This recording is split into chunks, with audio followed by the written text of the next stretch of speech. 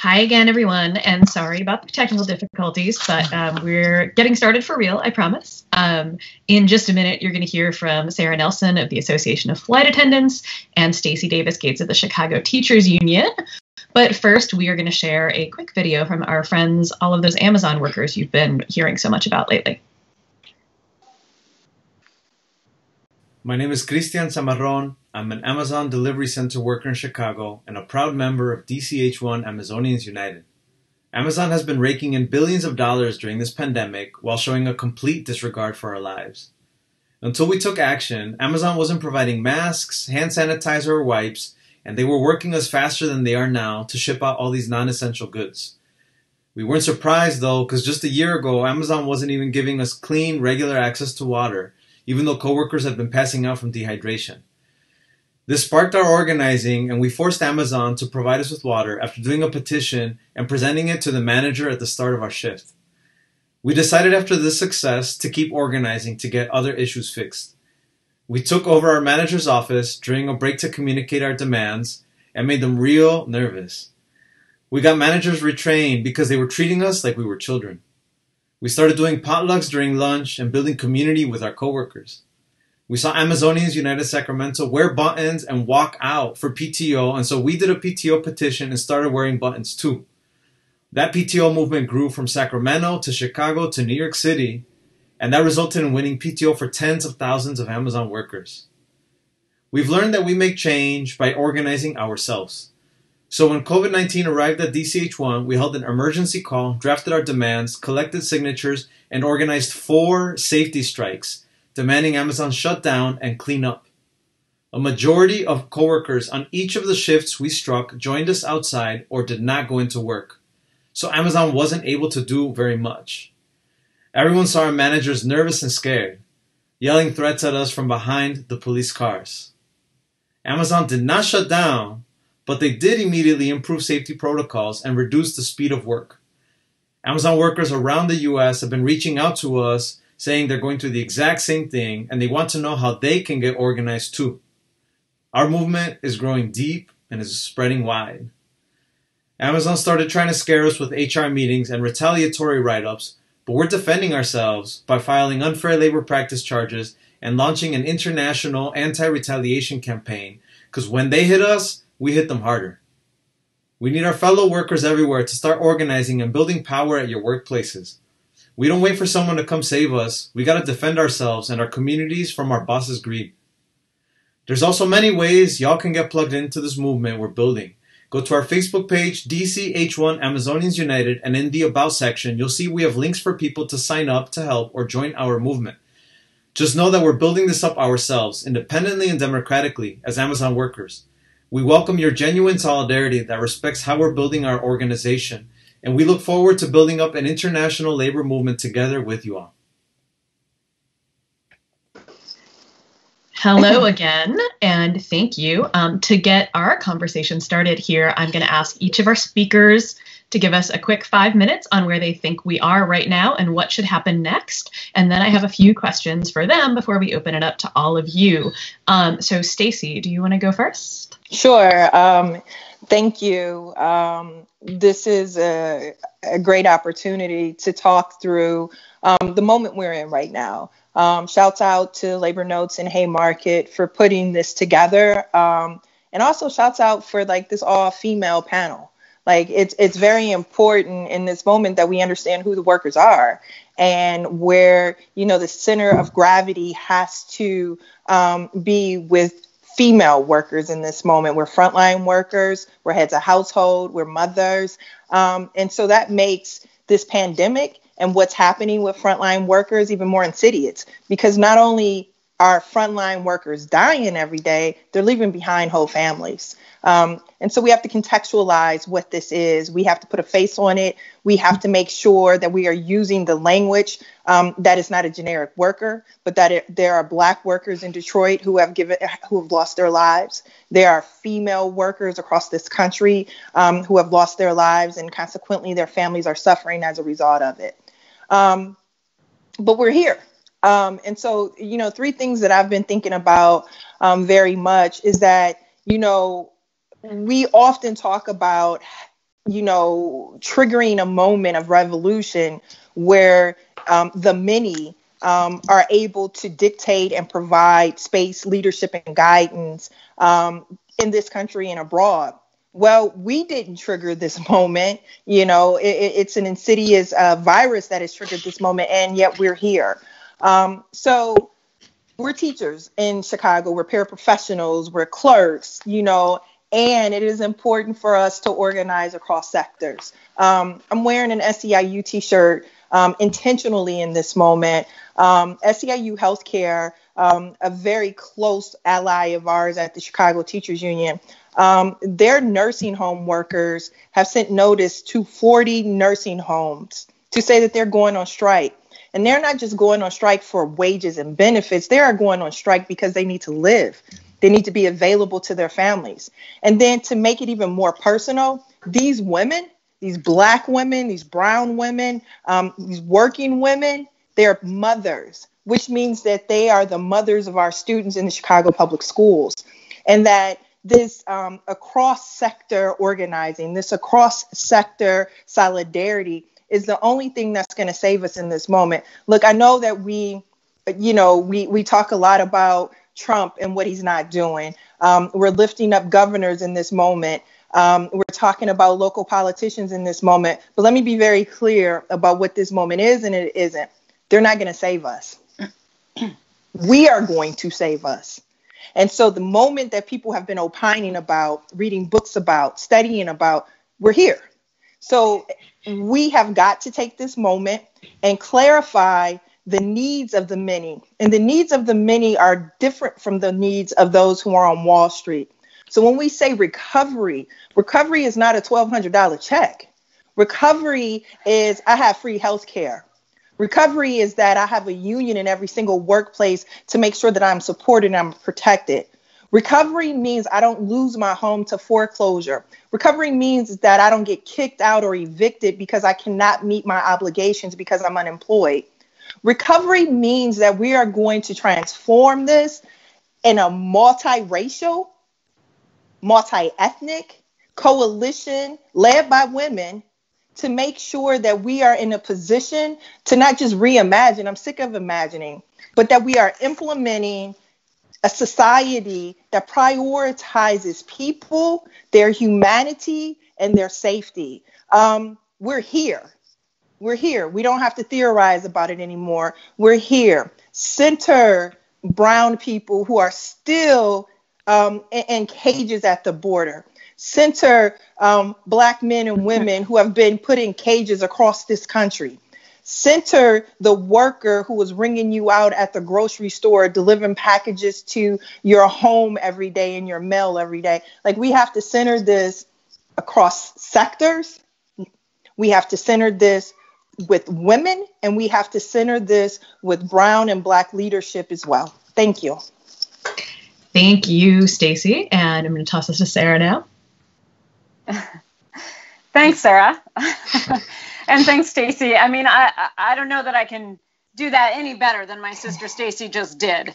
Um, but what I am going to do is, since it's May Day, I'm going to start off with a quote from Mother Jones that always centers me.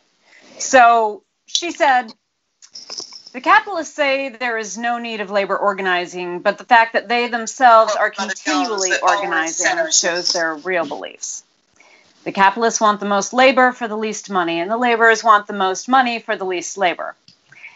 Workers produce wealth and build the world's palaces, but they neither use the wealth nor dwell in those palaces. If you would only realize that you hold the solution of the whole problem in your own hands, you could settle the whole question easily.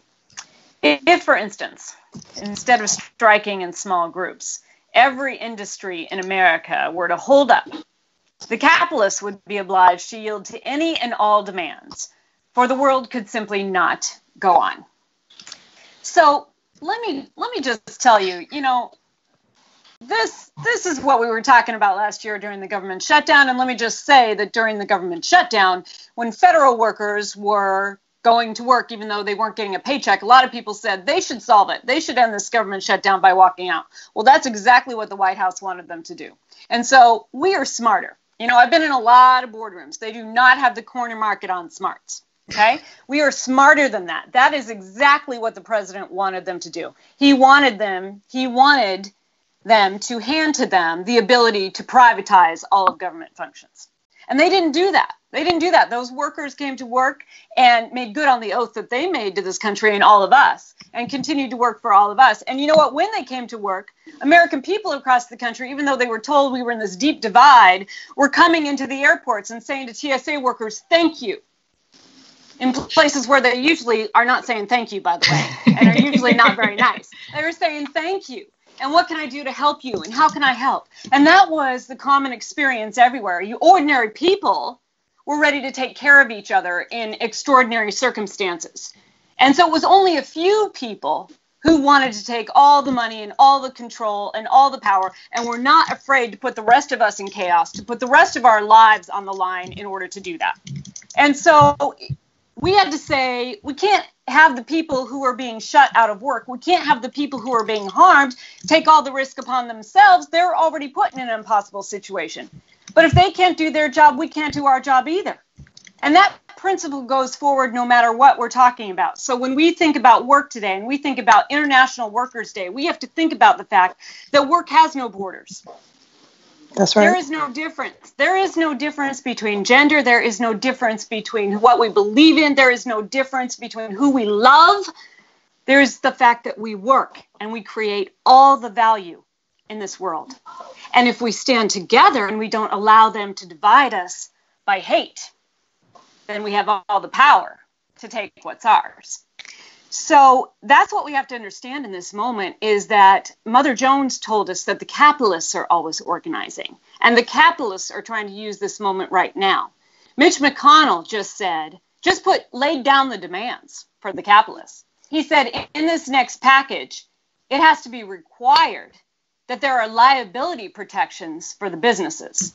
No protections for the workers, but liability protections for the businesses. They're literally trading lives for money. They're literally ordering people to go to their slaughter in the meatpacking factories. And they're literally telling people they're going to open up businesses and come back to work so that they can deny people unemployment benefits, so that they can deny people health care. So we have to make our demands clear and we have to understand what's at stake and we have to be clear about that. And so we have to be clear about the fact that Mitch McConnell is a shill for the billionaires.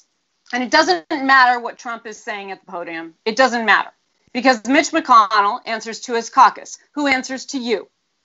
And so, right now in this moment, I was just thinking about that power analysis, and it's very difficult to talk about a general strike right now. It's very di- difficult to talk about a general strike. Let's be real. When a lot of people are out of work, and a general strike will simply mean that we are handing over to the government the argument not to give people unemployment benefits, not to give people help right now in this time of need. And so, and and also to say to our healthcare workers who are out there slugging it out on the front lines without the proper PPE, without the backing from their country, that that we're putting that on them too to ask that question. Because that is what the other side will say. That is how they will talk about us. They will talk about us as uncaring people. So we have to think strategically about where our power comes from. And right now, our power, right now, our power in this moment is this election coming up. Now, they are not going to come and save us. Like Stacy said, they are not going to come and save us. But if they think that we're not going to save them, they just might do something about it. And so we have to make sure that we are backing number one, where people are taking on these safety strikes, we need to spread the word about what's at stake. We need to spread the word about who is putting those lives on the line and what is happening there. And we need to spread that word amongst each other and make it very clear. If we can define what's at stake, then people are able to define what they're willing to do about it. And we have to make very clear to the Democrats that if Mitch McConnell is going to say that what his demand is that that there are no liability for the businesses if people die or get hurt on the job during this time, then our demand is treble damages. It's the standoff. Our demand is clear. You're trading lives for money. So our demand is higher than your demand. Hmm. And then we might just get some worker protections and real protections in healthcare for all and a green infrastructure that we can support with good green jobs and all the things that we need, like the right to strike when we don't agree with the conditions at work, like the right to organize and not have to go through ridiculous elections that take forever, like the right to actually negotiate with the people who truly control your work. So that's what we need to be thinking about in this moment because the capitalists see this as their moment of opportunity to take all the money and all the power. And the truth is that they are creating chaos. But we need to take the power back and say that the chaos is ours. We're going to own the chaos. And we're going to make the chaos a hell of a lot worse for you because the minute that they think that the risk is too great for them, that is when change is made in our favor. So make our demands clear and make clear what we're going to do about it. And we're going to make real change in this moment. I want an Own the Chaos t shirt. That's amazing. Um, so, what both of you were just saying there made me think about the way that we are talking suddenly about essential workers, right? I drive through Philadelphia to go to the grocery store, and there's big billboards in my city saying thank you to grocery store workers. Um, so we have this brief moment of thanking workers and calling them heroes, but how does that help us build power in this moment? And because this is going to get confusing, I'm going to go to Stacy first again. Uh, thanks, Sarah. Um, how do we build power in this moment? Um, for us in Chicago, it's always been about the discussion with the workers. It's always been about what is the very thing that we need to um, focus on in this moment. So, look, we've been here before. In 2008, there was uh, the Great Recession. And what the Great Recession um, resulted in massive foreclosures, um, folks out of work. Um, but on the flip side, it was also a time where the greatest concentration of power and wealth um, happened. You know, I, I say it all the time in Chicago. We have Cottage Grove on the south side. On the west side, you know, we have Homan Avenue. Those places never recovered from 2008. However, Wall Street is, and quite frankly, the stock market is doing just fine. Mm-hmm. So things are happening right now for some just fine. So what we have to do in this moment is identify the fact that the people, the many, they need it. The second thing that we need to do is identify who is unorganized and who we haven't invited to our party.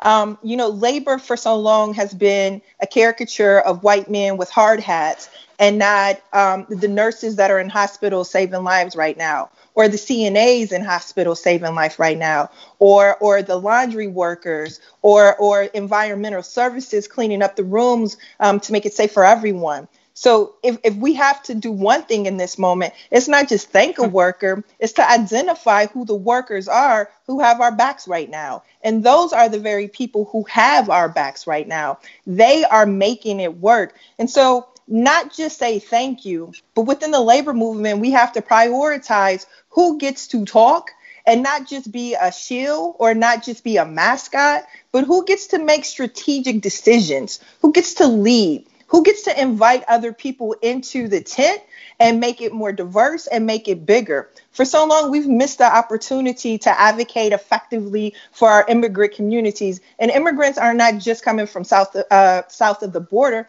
They're also coming from Africa. They're also coming from the Caribbean. They're also the people who are taking care of the kids of the 1% right now and risking their lives to even do mm-hmm. that.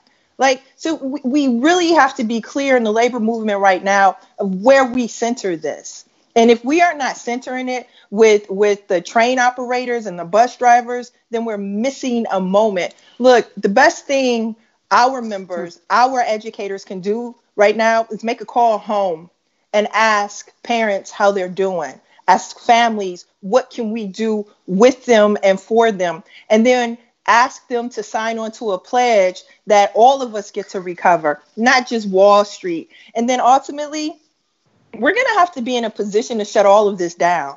So we know that it can get shut down because we're on uh, Skype right now as a result of the shutdown. like we're, we're not like we're we're not in a theater somewhere having this discussion with people all around us. we have to make a decision, not the virus. We have to make a decision, not Wall Street. We have to make a decision, not the wealthy landowners who have been making decisions for a long time. We also have to make a decision to trust each other too. Yeah. We have to make a decision to trust those who are doing the work, to hear them, and to create policy and strategy that reflects their needs. That's yeah, that's excellent, Sarah. Well, I mean, that's exactly right. You got to listen to the workers and focus it around them. And um, this, this, this is the moment to talk about the value of work and and who those workers are and what exactly they're doing and how this world just doesn't go on unless every single one of them does that work. Um, you know, I think about the sanitation workers that Dr. King was striking with and talking about the fact that if they couldn't do their work, then the rest of us were going to get sick. Mm-hmm. And isn't that the truth? Isn't that the truth right now? And so, you know, you're right, Stacy. This is this is a moment when we need to be uh, making those relationships, calling out those those commonalities. And one thing that we have going for us that's really to our benefit right now is that we are having a shared experience here. That's right. And that is what happens on the strike line too. You know, a lot of mm-hmm. times when you're in the workplace, you don't choose who you're in the workplace with. You're, the boss hires everybody in that workplace, right? Mm-hmm. And so, as, as Stacy knows, when you got a plan for a strike, uh, it's it's not as simple as uh, who are going to vote for in, in November. No, no, no, no, no. This is not going to be something that's going to be won with 51% margin this is something where everyone understands that we have more in common with our common demands than anything that could divide us. And it starts out with a lot of organizing and a lot of conversations about what's at stake and what are our demands and what are we willing to do. And then by the time you get out on that strike line, there's people talking to each other who maybe had never had those conversations with each other in the workplace, but all of a sudden they have a common bond and a common experience. And we're all going through that common experience right now, and we're all having different forms of heartache, and we're all having to deal with the challenges of this virus. And that gives us something common to build those relationships around so that when we get to a place that Stacy's talking about, because we're going to be in that place, this is our time to organize for that general strike. That's right. Because this is our moment. And there is going to be that moment where we are going to exercise that power together. And so every day, we can't let one day pass that we don't build those relationships, build those common experiences, build each other up, talk about the work that each other is doing, thank each other, okay? Not just thank a worker, but actually talk about their stories and ask them their stories and ask them to tell their stories.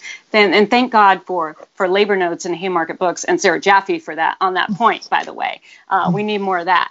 Um, but but but this is this is our moment to do that and plan for that day when we exercise that power and that is coming very very soon. So now is the time to use this shared experience to build uh, build that power amazing so this time i knew it was going to go super fast i have a million questions to ask but um, so for stacy i have um, today being may day may 1st is also the day that the rent is due for a lot of people and there is organizing around the country going on for a rent strike.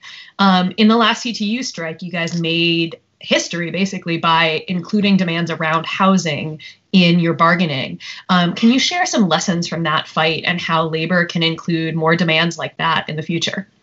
Absolutely. Um, we call it common good bargaining. Um, and I also say that common good bargaining is very easy for teachers to do because we are um, we're operators of common good. Like we are we are a part of the public sector that is offering a public good.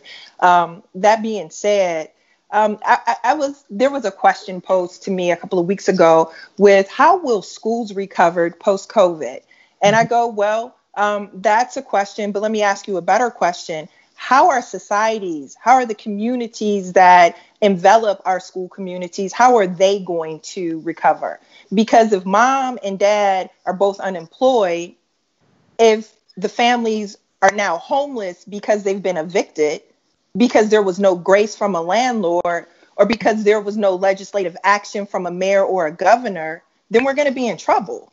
Because if you're not in a stable household, then, you know, taking a test, handing in homework, even sitting attention, at attention in class is secondary, right? So, this whole concept of the connectedness of housing, the connectedness of transportation, the connectedness of employment and health, those all impact our school communities. So, we have to, as workers in school communities, we have to be very clear about what we're asking for. Listen, I can get a better wage and a benefit. I can. We, we can argue about that. We can even go on strike for that. But as a worker, when I go back into my classroom and I'm dealing with a classroom that is disproportionately disenfranchised because families don't have jobs and they're homeless, then anything that I could want to talk about makes very little sense because people are dealing with trauma. And we often forget that our children are experiencing COVID just like we're experiencing COVID. They may not have the language for it, they may not have um, the ability to connect with grown-ups to like express that and they are still um, having a traumatic moment. That impact we won't know for years. But that being said our school communities are going to have to see the reality of our responsibility and our accountability. My accountability as an educator is not to bring home a test score my accountability as an educator is to fight for the resources that my students need in order to be a whole person and to be a whole person, um, getting an education is a part of that. Excellent, excellent. For Sara, you are in an industry that is both in the center of this current crisis and also the looming climate crisis. No pressure. Um, but so we're in this moment where we are seeing massive changes to every facet of our lives right now. Um, how do you think about this sort of going forward? You're a supporter of the Green New Deal. How do we think about this moment leading us towards a just transition? And how do you balance the tension between fighting for members right now and fighting for the future of the working class in a warming planet? Again, no pressure. yeah, thanks. Um, so, you know, here's the thing flight attendants are experiencing the climate crisis every day when we go to work. Uh, we're experiencing it by bouncing around the cabin with 300 pound carts because there's more turbulence. We're experiencing it when planes don't, don't take off and they're grounded uh, because of the climate event or because the airport infrastructure was destroyed in that climate event and you can't fly there for a while. Uh, that's our work. Um, and then science predicts that at a certain point, those tarmacs get too hot and planes won't even be able to take off. Mm-hmm. Um, so, and, and, and we also see, frankly, that our industry recognizes it too because they're trying to save costs in the in this mm-hmm. time by going to biofuels. They're trying to compete for consumers based on talking about the, the greenest air travel, right? So there's a recognition across, they're not doing enough, but there's a recognition across the board uh, that this is coming and that the solutions to climate change are not the job killer. Climate change is the job killer itself. So as long as we can agree on what the problem is, which is the first step that we have to take, frankly, that that's where we're still stuck right now. That we don't have agreement on what the problem is. We don't have agreement on the fact that the that climate change is is the job killer. And we also, what I have found during this, you know, we put forward a people's bailout in this moment in time in the aviation industry that would keep people in their jobs, money from the federal government for the first time ever in a corporate bailout that tells the corporation exactly how to spend the money. And in fact, actually, that that money has to go all of it to the workers and that they can't involuntarily furlough anyone, put anybody out of work. Oh, and that they can't have any stock buybacks, and that they've got to have uh, caps on their executive compensation. People could not even imagine that that was possible. And so we had even progressives working against us saying, don't bail out the airlines because people are about tearing down, one, because they're so damn angry, okay? So I don't blame them, but because of what's been going on. But two, because we can't even imagine a world where we can actually make it work for the workers. Oh. So so this is a moment we just showed it. You can. If you set clear demands and you say we're going to focus in on jobs and we're not going to allow them to divide environmentalists from the labor movement, but find our common ground, these conversations are going to have to happen in the union halls. They're not going to happen in self selecting organizations where everybody thinks the same way. We're going to have to understand there's going to have to be hard conversations, and you got to start with what the problem is, have everybody agree on that so that we can talk about the solutions. And if we don't if we don't host those conversations, then we are just handing this over to the capitalists to uh, to um, make money off of this crisis and then to create a crisis even bigger than we have ever imagined, and then put us in even more hurt because they will have all the control. And so we need to start defining the problem and setting our set of demands because this is our moment in time and we see it right now and th- if there's a silver lining in this in this uh, coronavirus we're seeing exactly what happens when we stop burning and and creating emissions into our environment. When we stop the airplanes from flying that are currently contributing to the climate crisis, we're seeing what happens when we actually take action. Now we got to think about how we build that new world with jobs, good union jobs, and not just maybe people can organize, but these are union jobs that has to be the baseline. That's where we start. All right, one more question for the both of you before we open it up to audience questions. Um, many of the strikes and actions that we've seen since the beginning of the coronavirus um, have been by non union workers. So, how do unions in this moment support this newfound militancy and, in some ways, kind of catch up with it? Stacy, you look like you have something to say. Well, I mean, here's the thing. When I see this newfound militancy, I see my cousins right? Mm-hmm. I, I, mm-hmm. see people who look like me, people I grew up with, people who live in my neighborhood, and I'm happy about that. This is my point about um, how we have to reimagine leadership um, within labor and how it is incumbent on labor who's been here before to organize across sectors. Like we have to not just show up to their actions, we have to ask them what else do we need to do to you know support your fight? How can we be um, supportive and instructive to how this is going to be? How can we be included on your strategy session and listen through and, and, and, and either mentor or take direction or just be there in support? You know i do not want to um, i don't want to say that we even know what's best to be honest with you. Because if you're going on strike in the middle of a pandemic, I'm gonna say you might know what's best already, right?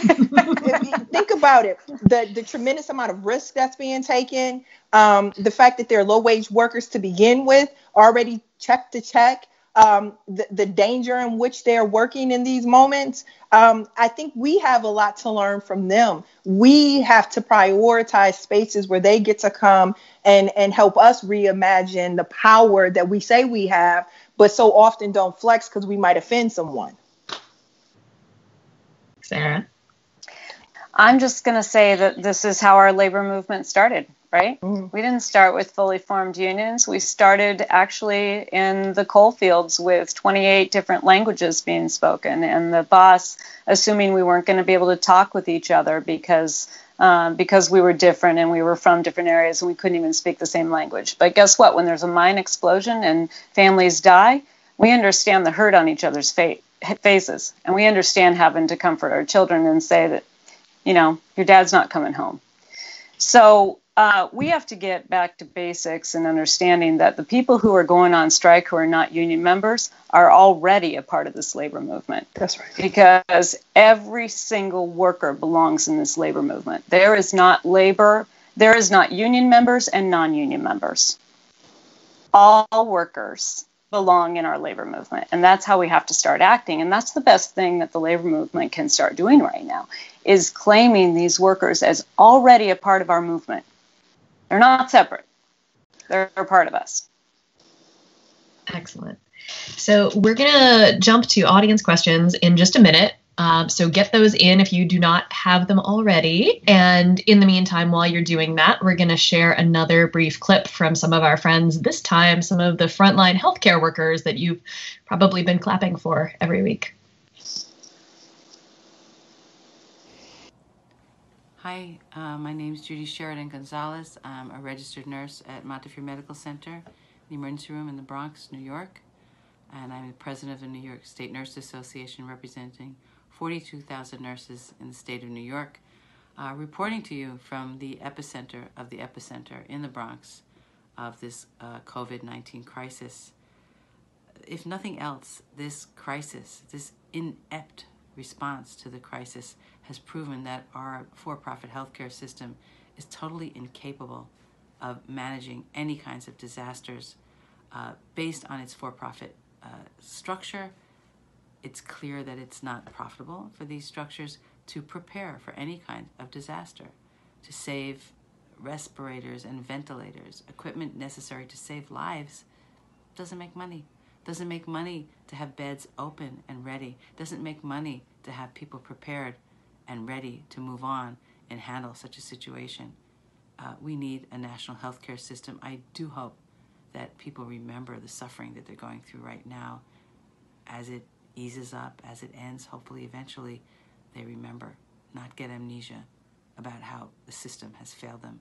The system failed us in particular when the Centers for Disease Control decided to loosen their standards and gave the hospitals and the government an excuse to not provide us with the protective equipment that we need. I just left a virtual town hall where we commemorated the 25 nurses who died unnecessarily without protection because of treating COVID patients. This is inexcusable. In addition, there are many other workers, transit workers, uh, people who deliver your packages and your groceries, food workers, all of us who are supposedly essential but clearly are expendable to this society. If nothing else, it proves to us that we've got to change the system, not only the healthcare system, but the way we manage situations. Instead of opening up the economy, which is dangerous, which is going to just cause spread of the virus, we need to have government programs implemented, tax the rich, get a tax base that's much fairer so that we can actually take care of the people in our society that need us the most. In the community in which I live and work, we, have the, we are the last county with the worst health indices in the state. And of course, those are the people who suffer the most. We have the highest per capita uh, of COVID positive and deaths, and the staff that cares for the patients in our community. We're the collateral damage to the way that the patients are treated in our community, the most vulnerable, uh, the most uh, needy. So we're hoping that at the very least, everybody takes a really hard look and realizes it's the people who are going to be able to change things. It's the people who must change things for the better to make the world a better place. Hello again. And so I have some questions from some of you here. Um, I'm going to start with a question from Al Bradbury from Labor Notes. Um, what is the labor equivalent of disaster capitalism? Because we know that they're sitting around, as Sarah said earlier, planning for that. We know that they're going to be broke on purpose to try to break the unions. What is our version of that? You're not broke if you're taxing rich people.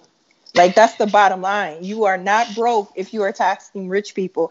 And and and and, and we do have to be clear about this moment. Like in 08, they came to um, educators across this country and they said, like, take a break on your retirement security. You know, make sure that you can teach 40 kids in a classroom. That mm-hmm. nurse or that social worker that you need, well, maybe not so much, right? And and they expected us to do more with less as inequality grew, mm-hmm. right? As wealth was concentrated at the very, very top. And many of our families did not have jobs, and we too were struggling to make ends meet in our own households, right? Getting rid of veteran teachers at the same time. So we know that script right? And they're going to take full advantage of it now. They're going to come with all of these austere policies from people who we are hero worshiping now because they are doing their jobs. Like, I, I don't believe, listen, I grew up in a household where you didn't get a cookie for doing your homework. That's what you were supposed to do, right? And so when we have elected leadership who are doing their jobs in this moment, I appreciate that because the guy in the White House is not doing his job. And that's a low bar. You don't get judged by that low bar. What we have to do very clearly in this moment is name disaster capitalism, name their chaos, and be very clear about calling out the normalization of that crazy stuff that's happening at state capitals right now with people trying to reopen before it's safe. Mm-hmm. They're not there by accident. The wealthy landowners in the South understood working class white people very well, and they sent them out in lynch mobs. So we've seen this video before. So we need to be clear about how a multiracial, a multiracial line that centers both racial justice, that centers female empowerment, is a part of naming austerity as racist, naming austerity as sexist, naming austerity as something that we are not going to do. That's number one. Number two, we have to be clear. Rich people get to put in, hey, I thank you for opening up the United Center, Jerry Reinsdorf, and making sure that supplies can be there. We appreciate you. And you get to pay more taxes because you have it to pay in this moment. The woman in the nursing home that's risking her life every day, she doesn't have to survive with more cuts because she's a hero, remember? So we don't thank her with a billboard. We thank her because what wealthy people get to pay more. Wealthy corporations get to put more in the pot. Our social safety net doesn't exist. And when and when we had a Great Depression, when when the activism of the civil rights movement dovetailed, government got bigger and government got bigger and black people and brown people and women benefited. And this is what we have to demand. So when we say a green new deal rhetorically no we're saying a green new deal in legislation and we're saying that rich people get to pay for it. Uh, all right what stacy said and let me just say that you know um, that rich people don't get the privilege of handing out charity rich people have to pay taxes okay? So we are we this is not we are not going to set up a system where we are saying thank you and where we're begging for their help. No i'm sorry that was the feudal system of, of elizabethan england. That we're not going back there. I mean that's what that was. That's what they're trying to set up here. You know when i when i hear that uh, i have a friend who works in a homeless shelter for women okay? And she got a grant from Jeff Bezos to run this homeless shelter for women. Meanwhile, Jeff Bezos is paying, paying his workers so poorly that they can't even afford to have a home. So this is, you know, no, no, no. We're not going to have a charity society. We're going to have a society where everybody pays their fair share and where workers can actually have a sustainable way of life. And so we take over the chaos. Yes, this is for you, Sir Jaffe. We, we, yes. we, own the chaos. We own the chaos. And we own the chaos in this way. Stacy already talked about it. You know, Mother Jones said, I'm not a humanitarian, I'm a hellraiser. No right. matter the fight, don't be ladylike. God Almighty made women. And Rockefeller and his gang of thieves made the ladies. You know, they want us to conform to their conventions. But the white man's day is over. Okay? Women are at the table. People of color are at the table. Gay people are at the table. That's we're right. all freaking at the table, okay? And we're going to take the table and own it. And that's really the difference here is that we are going to make sure that we have leading voices from people who have been marginalized for years, who have been pitted against each other for years. I think about my own union and I think about those women who formed this union in 1946. And the very first thing they did was negotiate a seniority list. You know why? So the boss couldn't have them trade sex for schedules. They mm. put that out of work in 1946.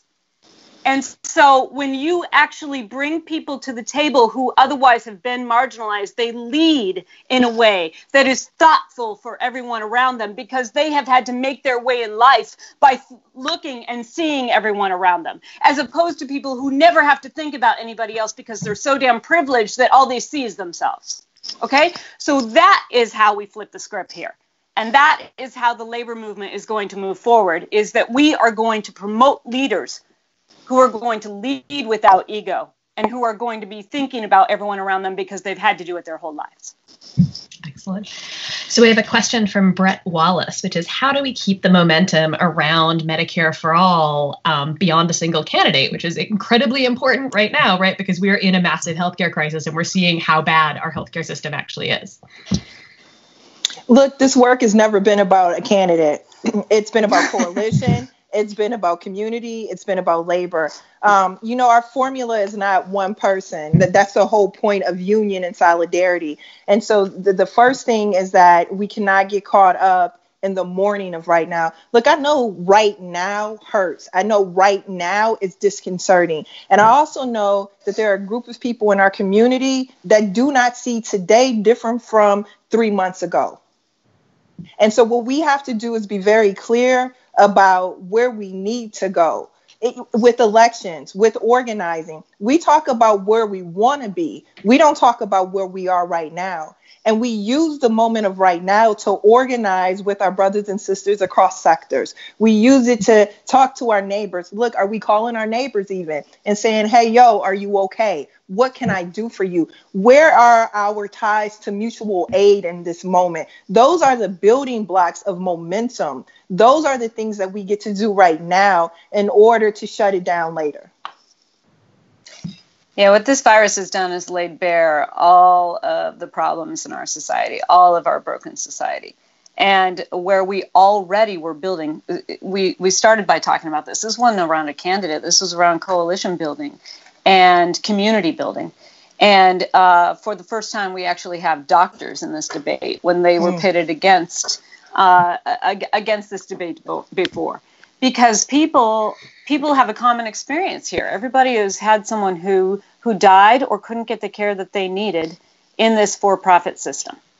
And that's the truth. And so we have to remember that this world is going to change when we demand it's going to change. And that's when we right. have that common experience, we can demand that together and but we have to understand and believe that this is not something that you build in one election this is what you build between the elections that matters and and that common experience has grown better than it ever has before. And this moment in time is showing us right now exactly what doesn't exist. But what needs to happen right now in order to get this virus under control is every single person has to have health care so out of necessity we have a moment in time where we can actually demand that what is part of these relief packages is care for everyone, not coverage, okay?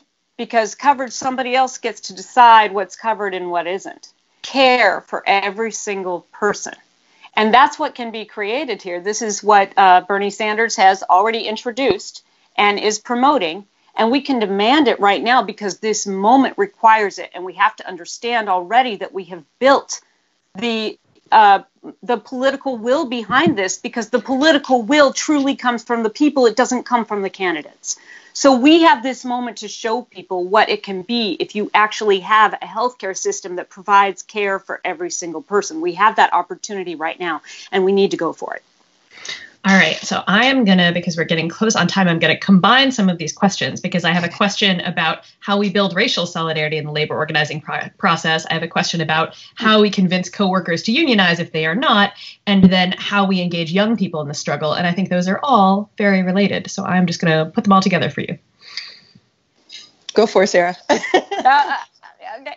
Listen, um, we can't be afraid to ask people about their experience and that's just the truth. And and we can do that in our unions. We can we can host that kind of conversation and we can say you know what? If you're scared to ask the question because you don't know about somebody else then that's exactly the time that you need to ask the question and we just need to make that okay and create the space for that to happen. And I, I am not going to go on and on about this because I could probably actually talk about this for a couple weeks.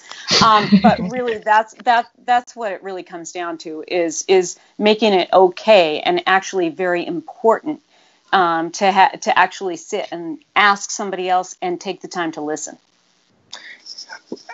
Absolutely. Uh, you know, labor has got to grow up and be about the neighborhoods that our workers live in. Um, it's got to be about public safety and that I have to be able to go into a neighborhood when I punch out and feel safe in my neighborhood, not policed, but safe. You know, I have to go into a neighborhood that doesn't have vacancy and vacant lots. So that means that um, labor has to respond to the needs of the community. It has to speak to the needs, the total needs of the person. It's the 360 of our experience in this world. We cannot just say, hey, young kid, you don't understand yet, keep living. When that little kid has probably lived more than we have based on their circumstance, right? Have overcome, mm-hmm. sacrificed, um, felt oppression in ways we would never know we have to be clear about community and centering our movement in the 360 of the lives of the people who are on the uh, who are on the warehouse floor, who who are on the tray lines and and in the hospital. You know, who who are in the locker rooms, you know, getting dressed to scrub into a surgery. Um, these are things that we need to be clear about. Even within, you know, our um, bargaining unit, it can't just be the teacher; it has to be the school clerk, it has to be the teacher's assistant. It has to be the security guard. It has to be the cafeteria worker. We have to care about that community. Yeah. Yeah. And the student. When you say young people, I just forgot about that part. but it's got to be about the student and the lives that they bring in there. They're not just, you know, a test or a test score. They're people who come with histories and experiences. Yeah. Yeah. So I'm going to ask you for closing thoughts, um, and you can wrap this last question into those if you want to, um, which was just how do people support the essential worker strikes that are happening now? Um, and then also anything else that either of you wanted to mention that didn't get mentioned already. Sarah? Well, listen, yeah, um, people are craving solidarity. People crave solidarity right now. And I, I just I have to liken this to the CTU strike. I mean, the demands that CTU put on this table was taking a risk. It's a risk to say we're going to strike for something that maybe isn't directly about your paycheck or directly directly connected to your job, even though you can make those connections, right? And so it's a risk to take to have those conversations. But we have to take those risks because the only way we're going to change this world is if we're actually making people have to think about that, making people have to think about why it makes a difference for a teacher teaching in a classroom where their kids are coming to school and they didn't have a place to sleep the night before. Mm. Make them think about the fact that there's uh, parents at home working two and three jobs trying to get by and don't have time to take their child or the ability to take their child to a doctor to understand why they're having a hard time in school when all it took was a school nurse to find out, oh, this person has a hearing disability. Let's get them some hearing aids so they can actually hear in the class and be a student. Can you imagine what that's like for those parents to be able to provide that for their kid when they didn't know what the problem was and they didn't have the ability to even take the time to know or have the expertise or be able to access those those resources. Ctu had those conversations with their members. And those conversations were not easy to have and those conversations were not immediately obvious to everyone. But at the end when they had the conversations they had unity around why those demands were important to each one of those teachers' jobs. And not every single one of those teachers has a p- certain political identity that agrees with each other, but they had a common experience and they had a common understanding of what those demands were. So we have to have those same conversations about what these safety strikes are about and why it's connected to us and why we have to take part in supporting those workers. COVID has showed us that everything is connected. Everything is connected. And so um, our bargaining, our labor, um, it has to be about common good. Um, I'm going to be a broken record. It has to be about the 360 of a person's existence in this world. In order for us to fight the power, in order for us to organize with each other, we have to see the humanity in one another. We have to break down the barriers and say, look, everyone deserves health care, everyone deserves shelter, everyone deserves a living wage, and I deserve to be safe when I go into my work site.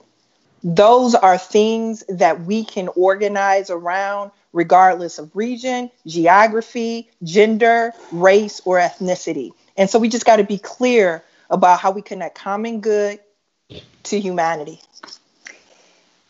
And Sarah, we haven't talked about the post office, but I have to put this plug yes. in we have got to save our post office, okay? Nothing connects us more than our postal service. Nothing. Right. Nothing creates more equality than our postal service. Mm-hmm. It's older than our Constitution. It employs 600,000 workers who are union workers with good union jobs.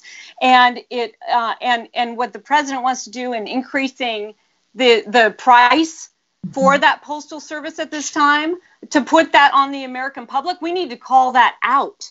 So we have really got to uh, stand up together and tell the stories about how the postal workers have helped each one of us in our mm-hmm. communities, including delivering 4 million prescriptions a day.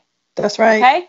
Yeah. There are people who do not get the health care that they need if the postal service doesn't exist.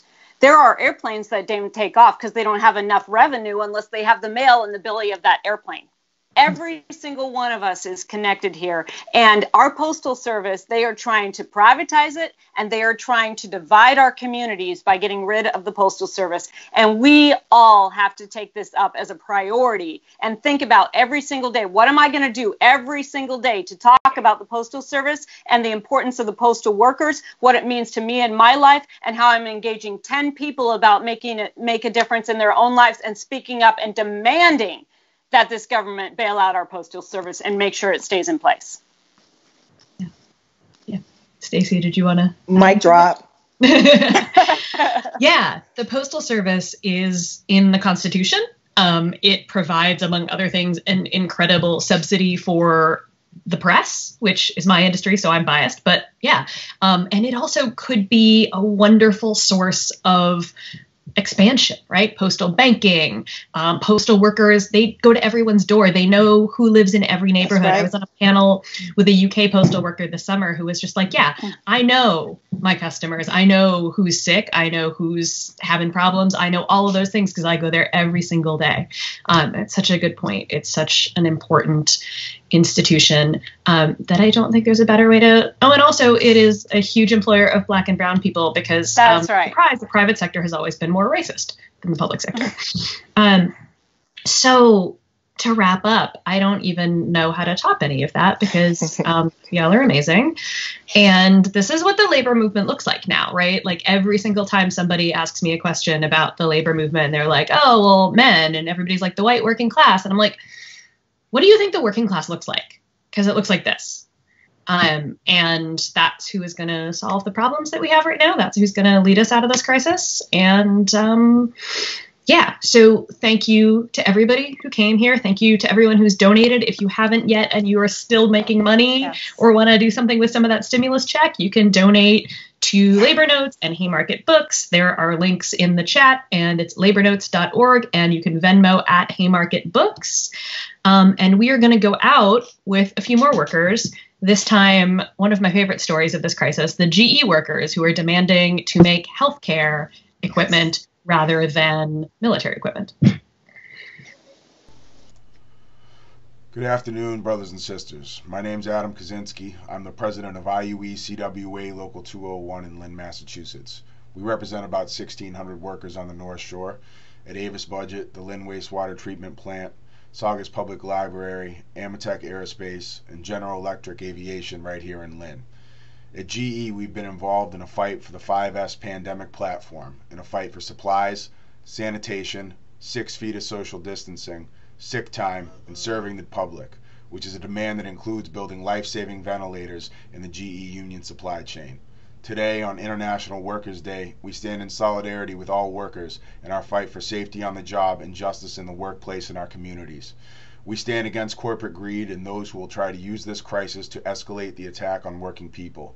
We need a people's bailout, a union centered bailout, and a response that puts working families first, not profit margins. Solidarity from Local 201. Thank you all again for coming. Happy May Day. Go raise some hell.